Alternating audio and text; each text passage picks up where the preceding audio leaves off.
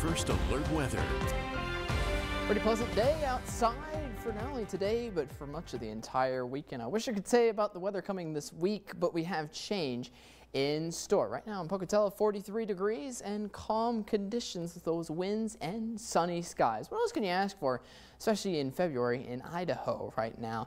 Live look at the Viper radar shows since we have lack of cloud cover, we also have a lack of snow in the region, but eventually that is going to change. We've got this high pressure just south of us right now. It's keeping us and protecting us from much of the cloud cover around, but do have a massive cold front that's gathering a lot of cloud cover and a lot of moisture that's looking to travel farther out east and it's going to kick out that high pressure system as well so that we get those snow showers coming forth in the next couple of hours. Let's take a look at that in the Vipercast right now. It's going to be clear at least throughout much the rest of the night tonight, which will be nice and pleasant. And in fact, for the day tomorrow, we're also looking at a pretty good day for most of the day on Valentine's Day to be able to enjoy.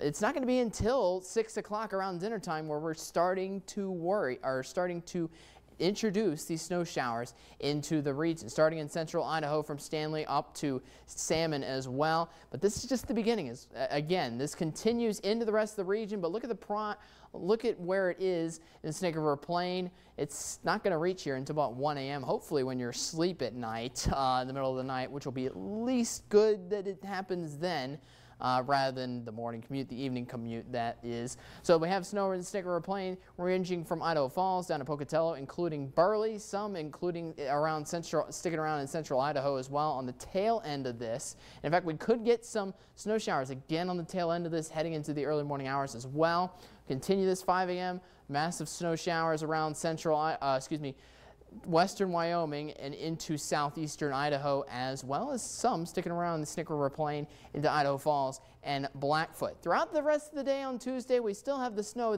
there, but the amount of showers and the amount of range to which the snow is hitting our region is going to slowly decrease and disappear throughout the day to where by midnight the next night we'll be clearing out things. Winds for the next day or so, which will be pretty light, 5 to 10 miles an hour as they've been for a good amount of time. But if you notice, right along this front, we're looking at some really impressive wind gusts up to 25 to even 30 miles an hour right along, especially in the valleys. And overall on Tuesday, though, it's going to be a pretty windy day, 15 to 20 miles an hour continuing after the front comes along with some very cold gusts, bringing much colder air back into the picture. Right now, snowfall looking at an inch to two inches for the Snake River Plain, especially the lower Snake River Plain in the Magic Valley, but some areas in the mountains could get up to two to four inches around Idaho Falls, possibly, maybe even including the Tetons, and some mountains around Sun Valley, and including around central Idaho and Stanley and Salmon. But enjoy tomorrow. We got the sunshine still out. That cold front not going to take effect until Tuesday. So one more day to enjoy slightly warmer temperatures in the forecast. 40 in Malad City, 39 in Lava Hot Springs, 40 in Swan Valley, and 33 tomorrow in West Yellowstone. 33 in Mackay, 41 tomorrow in Ketchum, and 42 over in Salmon. 44 tomorrow in Pocatello, or up to 46 in Burley, and 34 as our high in Rigby. Eight-day forecast, 38 is our high tomorrow in Blackfoot, but we're down to 28 by Wednesday once that cold front takes foothold. Uh, we got the snow coming in Monday overnight into Tuesday morning with windy conditions on Tuesday. About the same picture for Rexburg as well. We could have some trailing snow showers continuing into Wednesday. A high of 33 tomorrow, leading to a high of 26 though on Thursday. In Jackson, 31 is our high. We're down to a high of 23 on Wednesday with Possible slight snow showers basically continuing throughout the entirety of the week.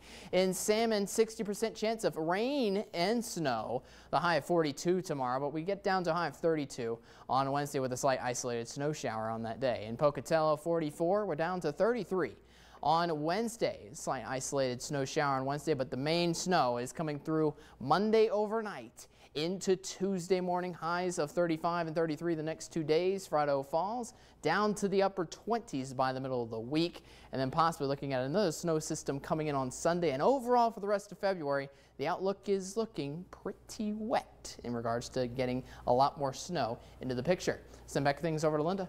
All right.